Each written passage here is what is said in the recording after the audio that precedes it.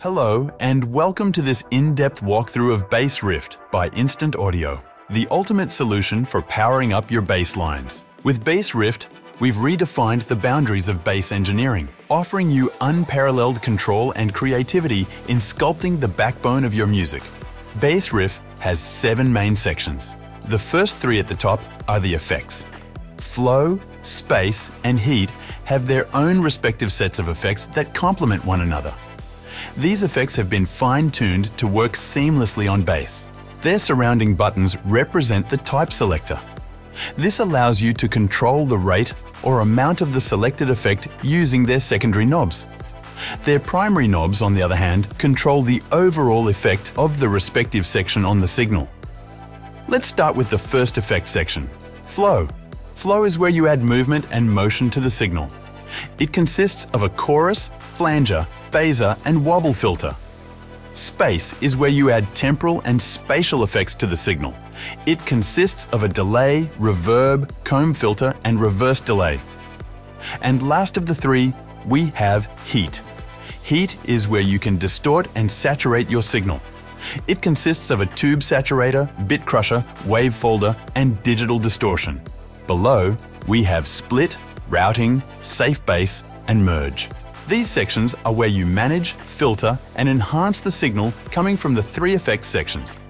Split has a variable crossover to split the signal between the three effects and safe bass. The red part here is the frequency where the three effects take place, whereas the blue part at the bottom retains its original content which you can further enhance via the safe bass section. More on that later. On the left is where you have control over the frequency split. Right below is where you choose the slope of your crossover split. 6 decibels for a gentle split and 48 decibels for a more aggressive crossover split. Input low controls the input gain for the low band that routes through the safe bass. Input high controls the input gain for the high band that routes through the three effects above. Clicking solo will mute the others, which is useful for checking what each one is contributing to the overall sound. Safe bass is where you can enhance the dynamics of the low frequencies as determined in the split section mentioned previously. Comp controls the amount of compression. The compression algorithm here is modeled after a vintage classic compressor known for its bass punch. Enhance controls the amount of harmonic saturation. This enhances the clarity of the sub to make it stand out in the genre you are working on, if required. This is also quite useful for ensuring the signal translates properly on smaller playback systems. Mono controls the low-end signal activity in the stereo field. At 100%, it means it is completely in mono, which is typical for low frequencies. Right above it, we have the routing section. Its function is fairly straightforward. It is where you manage the sequence of the three effects sections. You can have space before flow, heat before flow, and so on. Double-clicking the effect will deactivate it, and doing the same once more will reactivate it. The last section is Merge. It is where everything is fused together. The three knobs at the top control low shelf, mid peak, and high shelf EQ. They are modeled after a classic tube equalizer specifically designed for low frequency sounds. Right below it, we have high pass and low pass controls ranging from the typical 20 Hz to 20 kHz range. DMUD controls the amount of reduction of muddy and boxy frequencies. Maximize controls the amount of the maximizer, which is a multi-band limiter designed to flatten the frequency response and increase loudness. Output controls the plugin's final gain. The Merge section eliminates the need to add an EQ and compressor after the plugin to make these basic adjustments, simplifying your effects chain. Please note that in the oversampling section in the upper right corner, we have two buttons that you might find useful for your overall bass sound. Clip enables a hard clipper on the output of the plugin, preventing your signal from going above 0 decibels.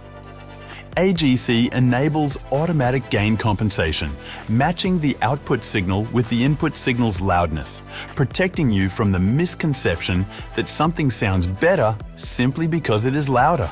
Also, just like the rest of our plugins, Bass Rift has built-in presets that have been professionally crafted for your basic needs.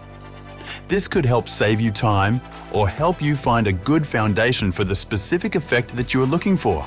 Let's listen to some of it.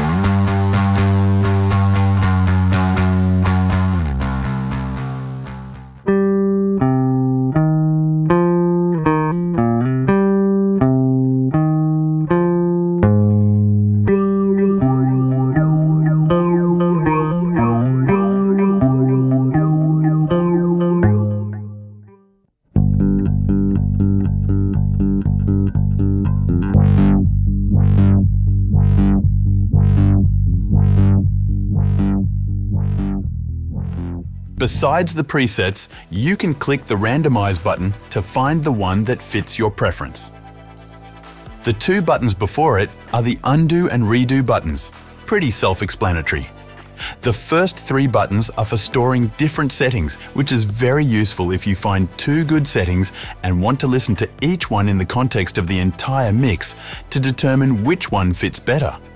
So there you have it. There are endless possibilities to what you can do with this plugin, and I'll leave the rest for you to explore. Grab your 15-day fully functional trial version at unitedplugins.com.